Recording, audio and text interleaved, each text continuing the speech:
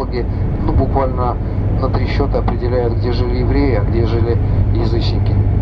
Ну и, конечно же, мозаика там великолепная, со времен римлян, со времен византийцев сохранилась.